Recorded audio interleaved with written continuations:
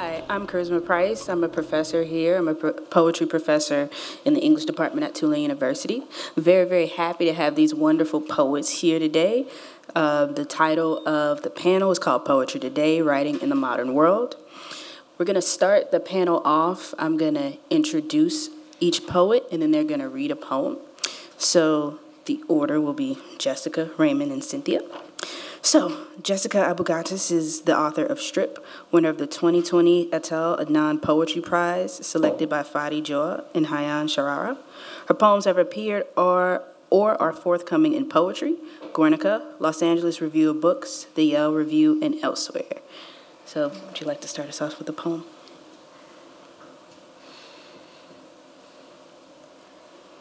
I'm going to read the first poem in my book. Thank you so much for having me. I'm thrilled to be here.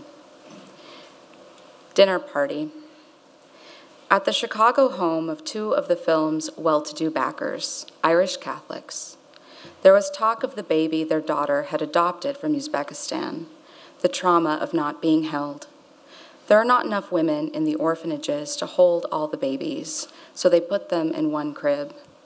The night outside was black, and I felt the chill inside my womb. There was a closet to hang our coats.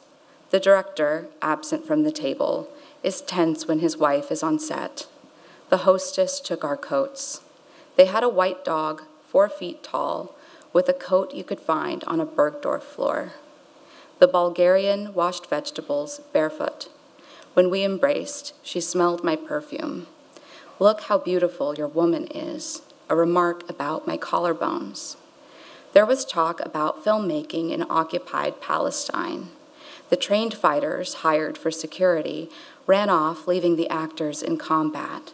They had to push the car through the desert. The meal was decadent and the hostess pleasant. There were collard greens, corn, a roast. The hostess said they wanted an American feast, and Jack, with his white beard and iridescent teeth at the head of the table. The Palestinian went out into the frost to smoke stepped in the Thunder Dog's shit.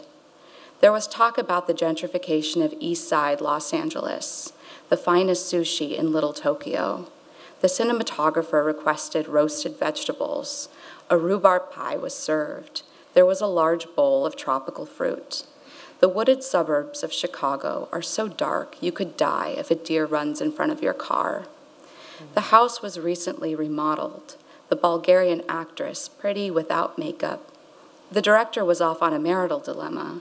All the actors had spouses. Instructions how to kiss, blocking can make anyone fall in love. There was talk about the promise of the young director who sat beside me. There were three Palestinians, two Irish, the Bulgarian. The cinematographer was Chinese American, the AD was white and gay. The house was so big I got lost in the powder room. It had been a tough night on set. The scene called for nudity. An intimacy coach was brought on set. The director is having marital problems. There aren't enough women to hold the babies. A letter arrived, and I saw him smell it. We smoke and frost and step and shit. The Akita is angelic. There was talk about the rental market, a stucco Mediterranean true to the golden age of 1920s Hollywood. He's a promising young man who directs me. I am a decent woman. I have scandalized a few. Everyone fell silent. The rhubarb pie was served too hot. The hostess was pleasant. There was a coat room and a remark about my collarbones, a decadent American feast. The Palestinian fought off three men, or so he says. Being held is a trauma. One crib held all the babies in Uzbekistan. When we embraced, she smelled tropical. Nudity was called for. The Palestinian was humiliated. A car could kill you in the dark, not while your wife is on set washed face and barefoot. It had been a tough night. We held hands the whole way up the cobbled path.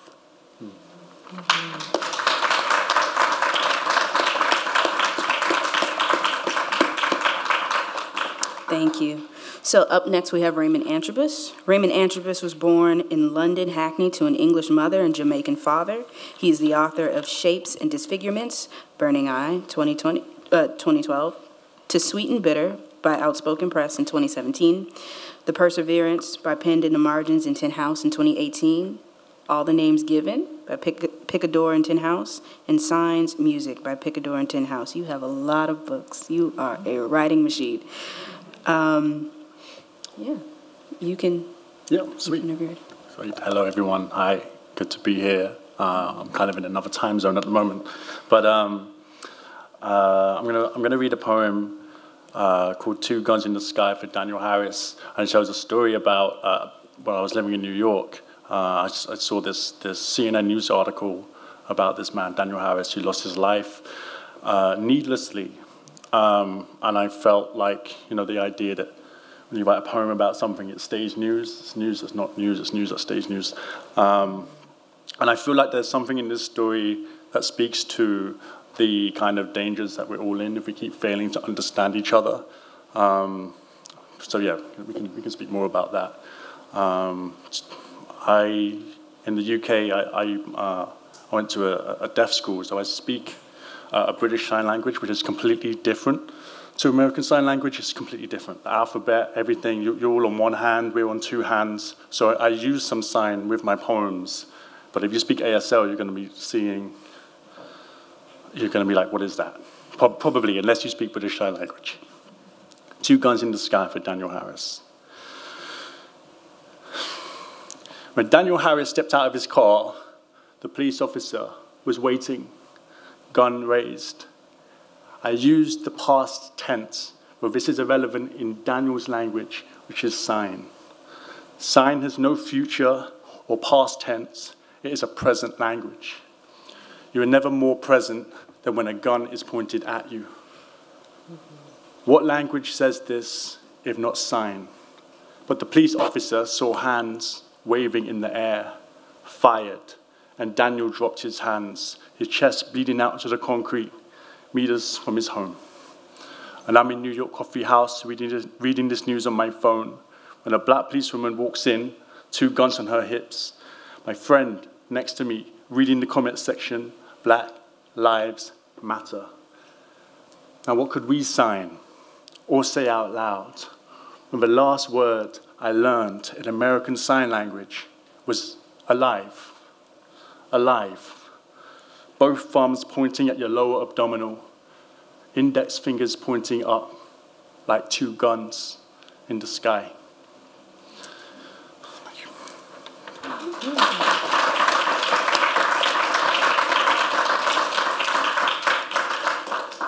Thank you, Raymond.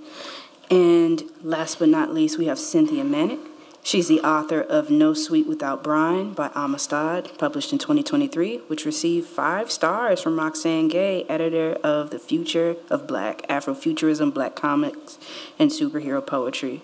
Winner of the Lascaux Prize in Collected Poetry and author of Blue Hallelujahs. She's received fellowships from Cave Canem, Hedgebrook, MacDowell, for 10 years, she curated Soul Sister Revue, a quarterly reading series that promoted poetry as storytelling and featured emerging poets, poet laureates, and Pulitzer Prize winners. She lives in Brooklyn, New York, but travels widely for poetry. Thank you.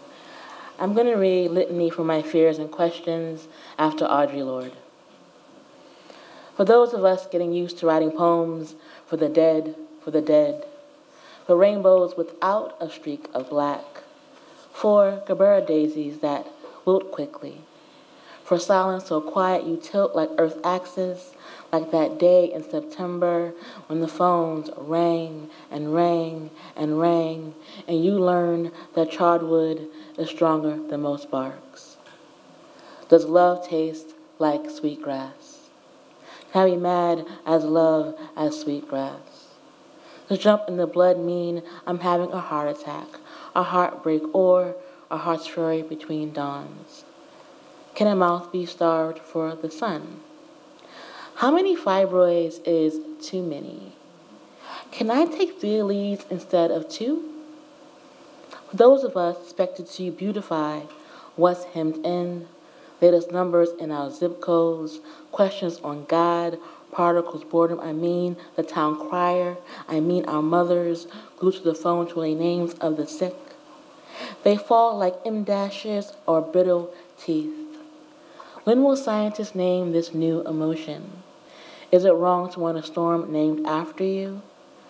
Can a 3 a.m. phone call be good news? News so jubilant that our lungs expound six liters of air? Let this be the last time we mourn, or dream of a beast, or a beach full of a hundred brown turtles retracted in their shells.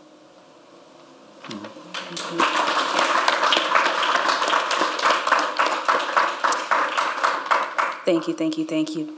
I'm checking the timer. So mm-hmm. I'm going to get into some questions, and then at the end we'll have a few minutes for audience Q&A if you have any questions. So keep that in mind. Um, the first question I'm going to ask, uh, what's been bringing you joy lately? I ask my students this. I make them do like adult show and tell projects. What's been bringing you joy or wonder recently? okay, they'll look at me. We're like, we don't know about joy. What is poets. joy? We're poets. you know, honestly, I well, right now I just had a po' boy like yesterday, so that brought me a lot of joy. Um, I want to say food. I want to say mm-hmm. conversations with people like you guys on this book tour. I'm meeting people who I don't know, but I instantly feel like kin. Um, I want to say uh, sun when it's also raining.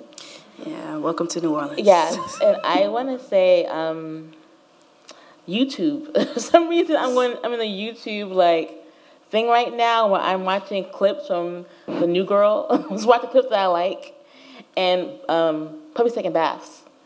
Puppies taking baths. Have you ever watched puppies taking baths on YouTube? It's so relaxing, and so I've been doing that too. yeah, I think. Um, the past few months have been a particularly challenging time to feel joy, considering um, just the tremendous loss of human life uh, and having to kind of re-experience my parents' traumas through that uh, as a Palestinian living in diaspora. Um, so I think it's important to acknowledge that as we sit here safely, that um, there are a lot of human beings endangered. And um, I think that what has brought me joy is just stopping to smell the roses, the beautiful flowers that are blooming in New Orleans, and um, just connecting and being with the people that I'm with in the moment that we're in, just mm-hmm. being right here. Yeah, um, many things. I'm, I'm, I'm, a, I'm a parent. My son is two years old. Um, and that's been its own challenge and its own joy and its own beautiful thing. Um, likewise, it's been difficult, like to, uh, you know, thinking, finding the language to describe this current moment for, for, for to a child even who, mm. who's going to be seeing these these things, and I've been thinking a lot about. Uh, yeah, how to do that and what our responsibility is as, um, as poets, um, but it has been joyful to find, uh, like you said, those shared spaces where people are united in rage mm-hmm. as well as joy. Um, I know I've shared many spaces like that over the past few months around Europe as well. As it was in Ireland recently. Um, yeah, so like I I'm thinking so much about this idea of freedom as well, and the, the freedom to have joy, and that uh, Angela Davis quote, you know, uh, freedom is always a struggle. Mm-hmm. Um, which is not the question, but it's like it's such a hard thing to grapple with, no, and I'm still I'm still working that out, you know. Um, but honestly, I love being a dad, and my son is is is really he's given me a lot of life. I'm very grateful for him. He's a, he's a real kind of um, grounding uh, thing for me. And I'm writing poems about him. So, like what Cynthia just said, like the, when the poems come, there's a buoyancy in that. Cool. Thank you. Thank you for sharing. Um, since we are, um, the title of this panel is called Poetry in the Modern World, and speaking about both the joys and the horrors of what's occurring in the world, a lot of in all three of your writings you incorporate memory and image mm. and this is a question for everyone but specifically in the intro of your book um, there was the um, essay where it talks about the idea of repetition and how repetition in memory repetition isn't just repeating the same thing and it's not about just the passage of time, but how time passes through you. Mm. And as poets, we, depending on the moment, we tend to linger. We often try to figure out what's the right word, the right words to say. Mm-hmm. And in all three of your works, um, you incorporate a lot of image, and whether it's talking about family, whether it's talking about borders versus borderlessness, and how often as a poet I find that my poems tend to be much smarter than me as the poet, mm. and how they allow us to be able to exist in this body, but also, in a sense, be limitless. Mm-hmm. So, I wanted to know when it comes to imagery. I guess can you speak on like your personal relationship between poetry, imagery, and form? And do you, when you're writing, do you start with an image? Do you start with a form? Do you start with a question? What's your crafting process like? And how do you feel that when you say, this is what I want to say. Um, how do you decide whether it's a sound, an image, or a metaphor? I love this question, Karisma. I think repetition is a form of love because when you love, you repeat and you repeat, and every every time there's a repetition, there's a different flourish on it. And um, so I think I start with musicality and I start with sound, and voice is the most important thing that I right through. Um, and just speaking of that musicality and sound, in classic Arabic music, um, they will repeat, they will sing the same line over and over and over and over again, and each time, because of the inflection on it, the meaning is different. Mm. And so I think that that is one way that I can enter into a memory or enter into deeper into a memory is through that sound and repetition.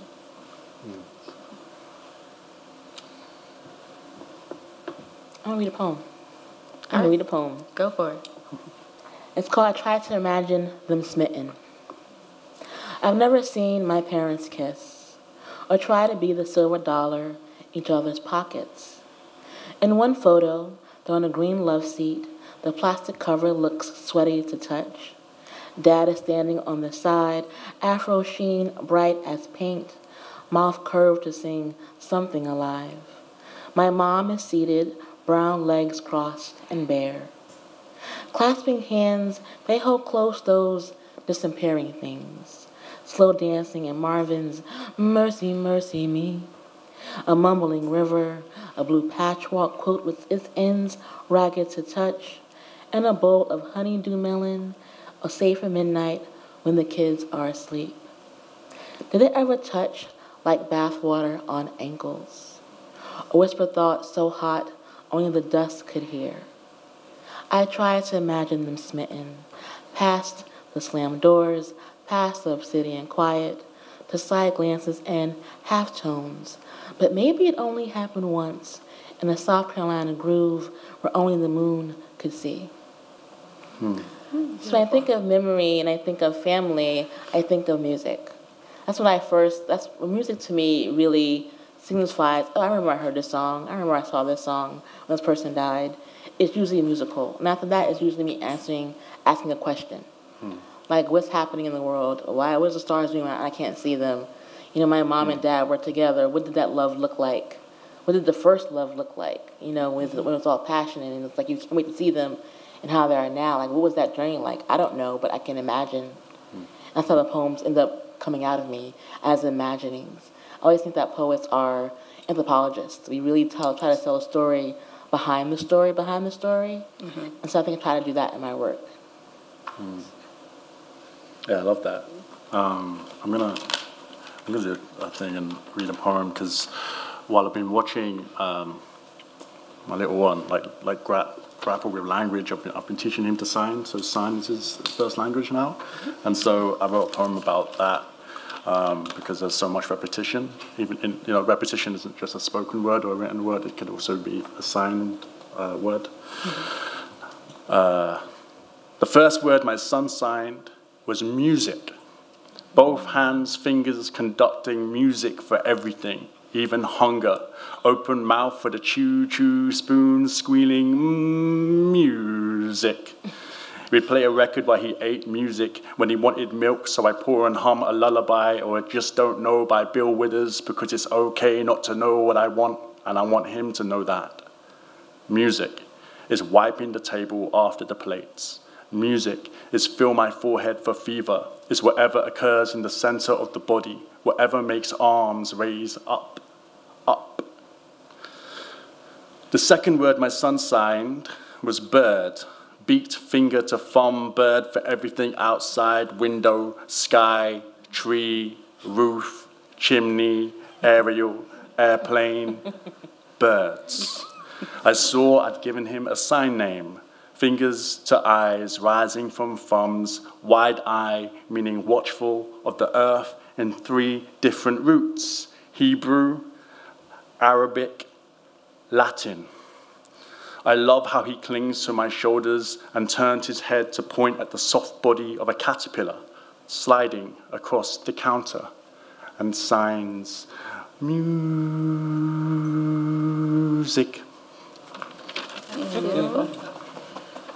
That is so cute. I love that.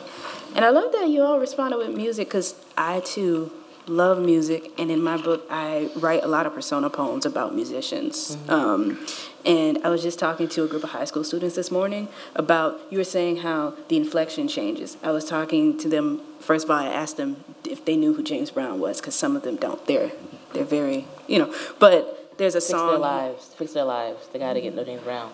Look, some of them were born in 2005. I was like, do you know who James Brown is? But the song Please, it's like he's repeating please, but each time Yeah, it's a different type of yeah. plead. So that inflection really changes it. And with repetition, especially with um, my book as well, when it comes to that repetition, it's repeating it so that it it's itself, but if this makes sense, it becomes its own new like definition for itself. It changes each time. So I love that we all love music. Um, so I want to talk about as poets, we observe a lot, and you have to really be an active listener to be a poet and be an active watcher.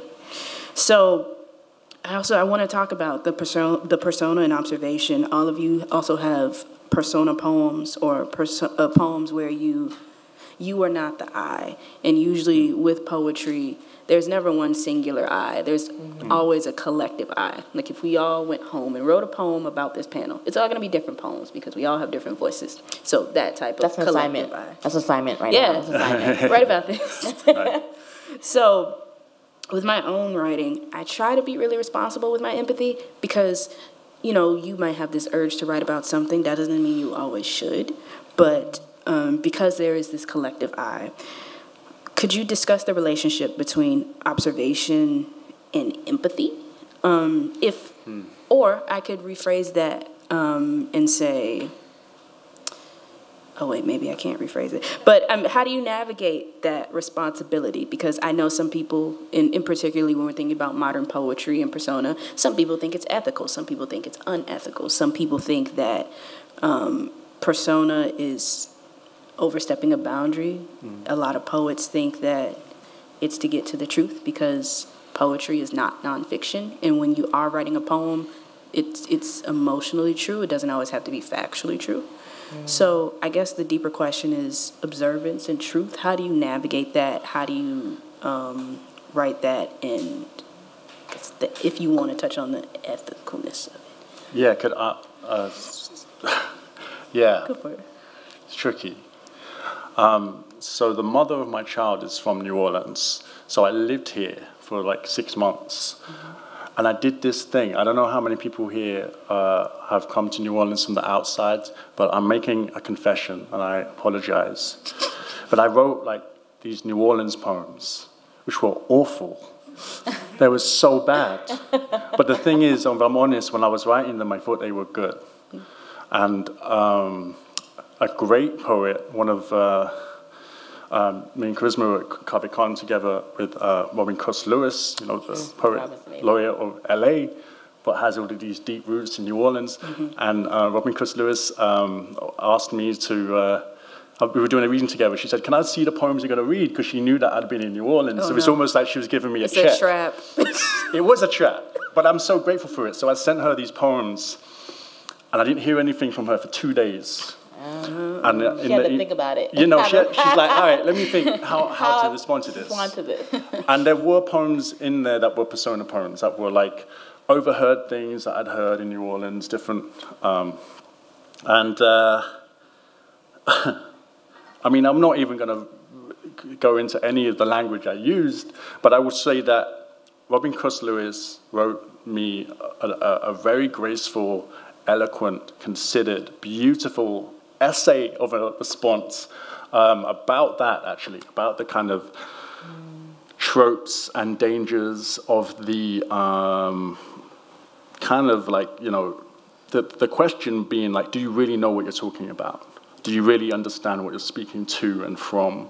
Mm-hmm. And um, I have forever taken that kind of uh, idea with me. Um, and, and, and sometimes I get suspicious of that initial like mm-hmm. rush of inspiration, if you know what I mean. Like even now on the way here, I was looking at the trees, the, the willow tree, uh, just all of these kind of feelings, and I was like, I don't know if it's my place to write about these trees. I could write about my own response to them, but I, yeah, it, it made me think more about how to situate my voice and where I can be most, uh, I don't know, author- uh, where I have the most, where I have the most authority. I'm not sure. I'm kind of like, I'm saying that I'm still grappling with this. I have no answer to it. I just wanted to kind of bring that uh, to, to, to this to this panel because yeah, yeah, I know it's definitely a, a gray area, but as I think as a poet, you walk around, you eavesdrop, you live, and then you automatically respond.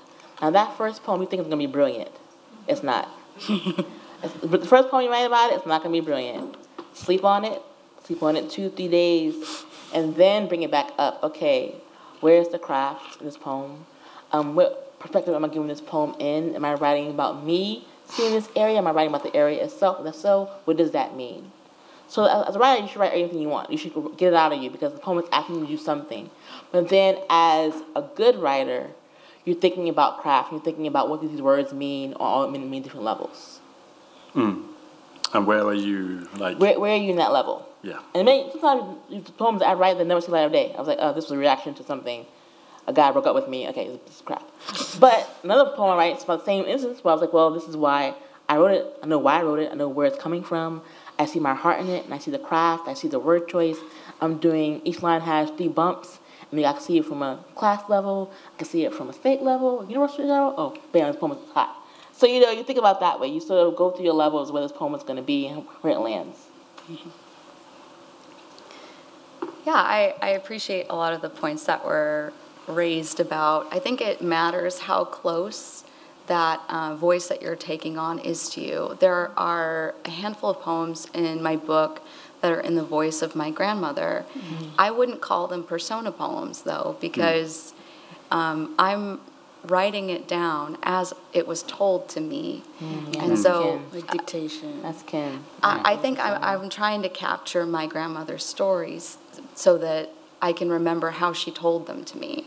Mm. And so uh, in it, I think there's a, there's a, a fine line between persona or not, and I ended up changing the titles to some of the poems to "She Tells Me About," and I think that that she makes it a third person instead of a persona, mm-hmm. um, because I'm just writing it as I heard it, but I'm not embodying her. I understand. Yeah, thank you. Those were wonderful responses. You sound surprised. No, I. no, I've been thinking of as someone who, when I first started writing poems, I was afraid of anybody knowing anything about me. So yeah, I used too. to write persona poems, and then. Can I, can I ask you, Karisma, when you Karisma came to London, and we met up and went to the library, yeah. so did you write any poems about London? Yes. Are yeah, they, are, are they, they good? good Do you want to send them to me? I'll send them to you. It's about it's so it's about being on the train, the mm. train ride from the tube. From no no no like a train train like from going from Manchester coming into London. Oh, okay, yeah. But it involves music as well. Nice. Um, it's about there are flowers and stuff in it too. So yes. um, so my next question, uh, often you know, as a professor, I'm teach I teach an intro creative writing class and then I teach an advanced poetry workshop. And often in the intro class, I have them read an essay called Why I Write by Reginald Shepard. So Reginald Shepard, he has this very detailed essay about why he writes, what he thinks his writing can achieve and uncover. And he starts as one of the best lines I've ever heard in an essay. I think it's either the first or the second line, and he goes, I write because the fact of my future death offends me. And I'm like, okay, well, okay. Can't get any better than that. So I often ask them after we discuss the essay in class, I'm like, how do you feel about his attempts to capture beauty? Um, you know, everything is temporary. And he talks about uh, writing, whether it's achievable or not, an attempt at saving, saving his mother's memory who had passed, or saving pieces of himself. So, I mean, this is a big, vague question, but you know, do you think writing can save? And if so, who or what? Um, if that is too big of a question, um, what are some things you think? What are some things, or I guess people you think you're writing towards? Maybe influences someone once asked, "Who are you writing for or against?" And I was like, "Ooh, against." um, we all have our literary family trees, so I guess it's more of a question about lineage. Do you think writing can save, and also, what are you trying to write towards in your own work personally? Don't look at me again, you guys. Come on. That's a huge question. I went first last time. I can. I, you want me to give an answer for myself while y'all think? I think it can save. Um, I don't think it can save fully. I think the writer, the poet Hanif Abdurraqib said this, so I'm going to take this from him, but I agree with it. He says that he doesn't think writing can always save, but he thinks it can help examine a wound. And I really mm-hmm. feel like the act of um, examining something and having a new lens on it, whether or not it can save the person, it can give you a, a a more specific name for a thing. Mm. Um, for me personally, I feel like as someone born and raised here, I am trying to write. Uh, I'm trying to be more vulnerable in my work. Mm-hmm. Um, I was talking to a friend recently, and I felt like I was vulnerable. In my, I had a book that came out last year, and I was I showed her a new poem, and she was like, "In your first book, you were so like clever, and of course you were vulnerable, but you're like very sneaky with it, and here you're very like knife in the heart. So she says, I feel like you're getting towards an extra sense of vulnerability. So I feel like I'm writing more towards vulnerability, writing towards more about um, ecology. I've been writing a lot of nature poems and um, my relationship to New Orleans, especially as someone who has experienced Katrina. And when I think about nature, it's not always pleasant. Like mm-hmm. pastoral poems are about people, you know, lying in a hammock in the sun. And to me, nature hasn't, I feel, hasn't always been the kindest to me, but I also feel as humans, we haven't been most kind to it. So, mm.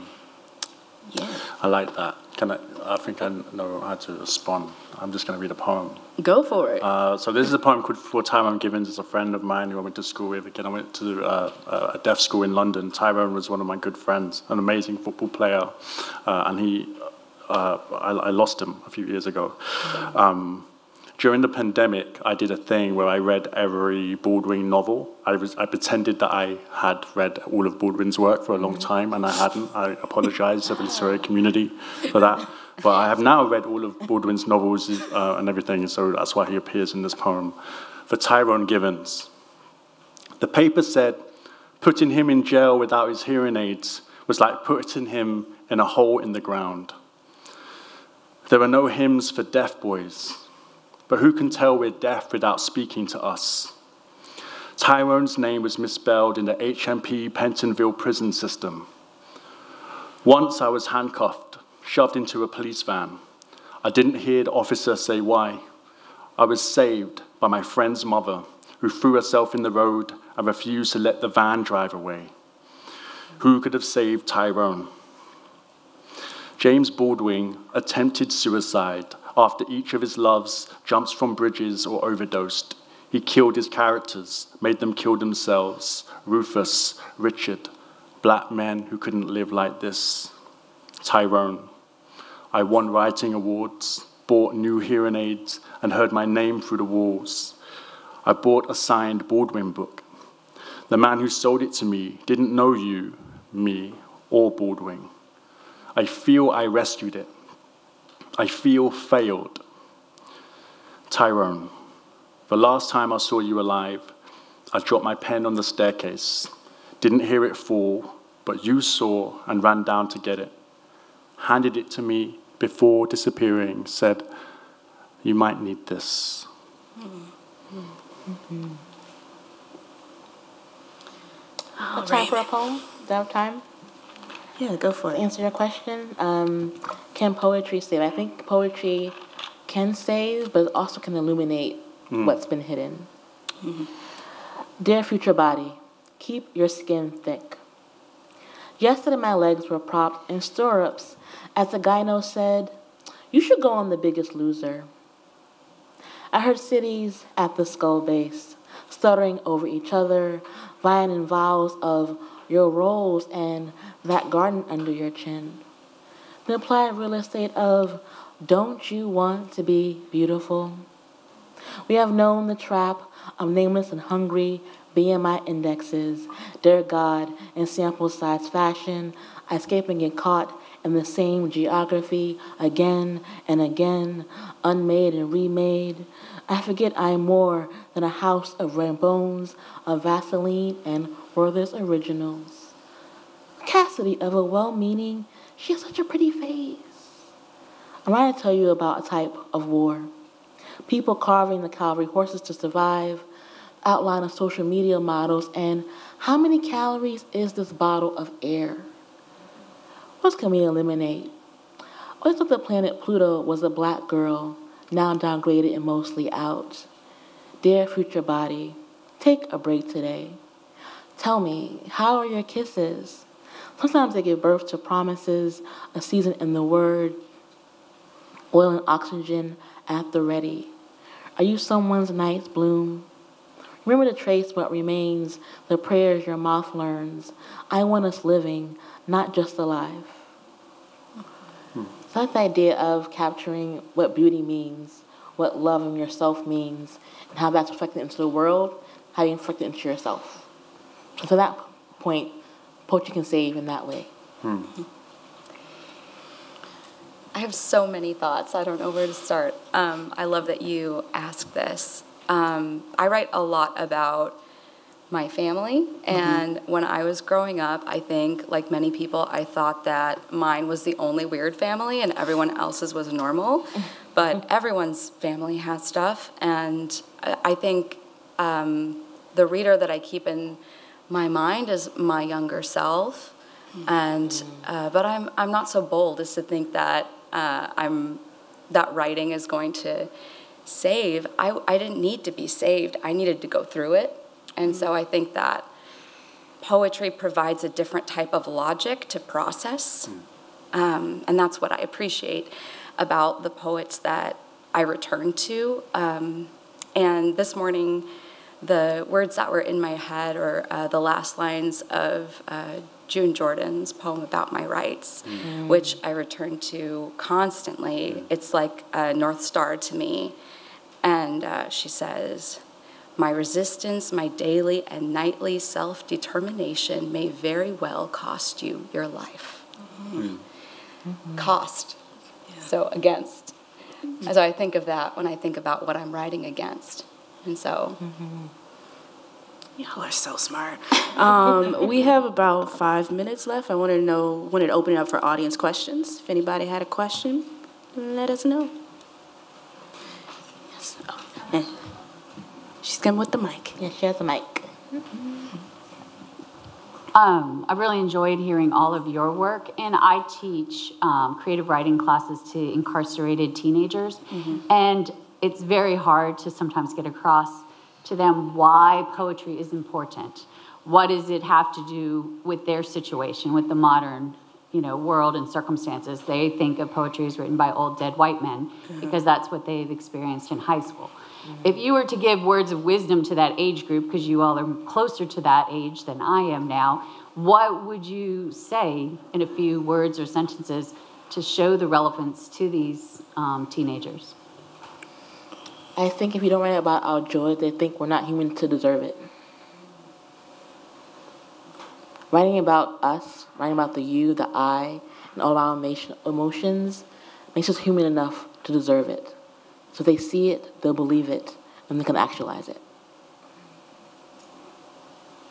I think for me, a big thing why I love poetry, a call and response to myself, is very meditative. Um, and to me, that is an act of love. And on a similar note to what Cynthia just said, sometimes we think we don't deserve things depending on mm-hmm. our situation, our upbringing. And I feel that it shows how much you can love both the outside world and yourself. So many things are full of questions. Love doesn't have to be full of questions. So mm-hmm. pushing that feeling of a purposeful love for yourself and what you can bring, how much love you can bring to the world, no matter where you are.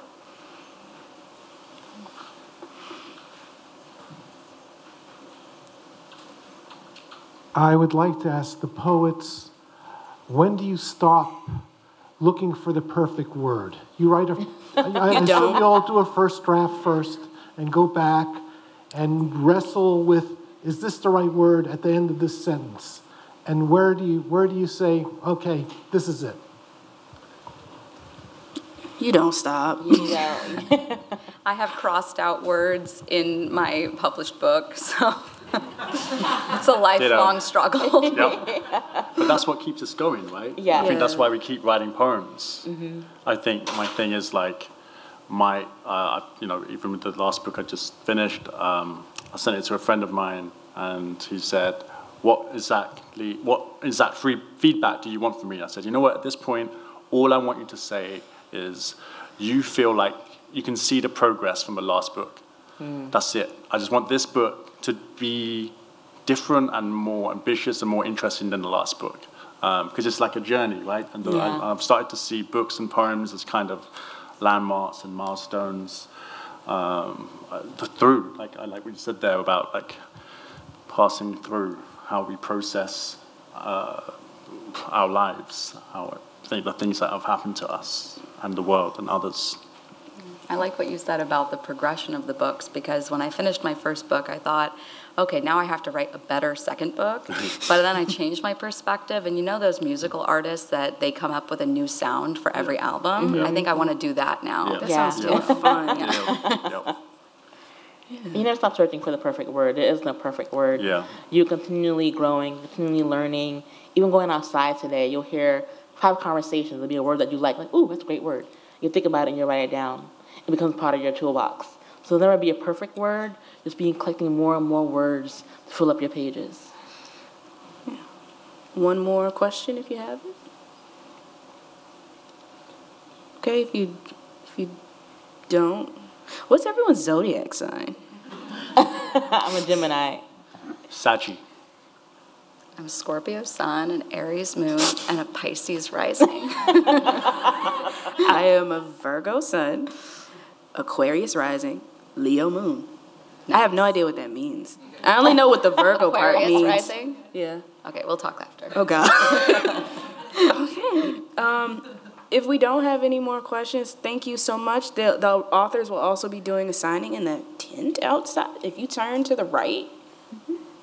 If you want to buy their books, you should. They'll sign it for you if you go to the tent. But thank you so much. thank you. Thanks thank you very much. Thank you.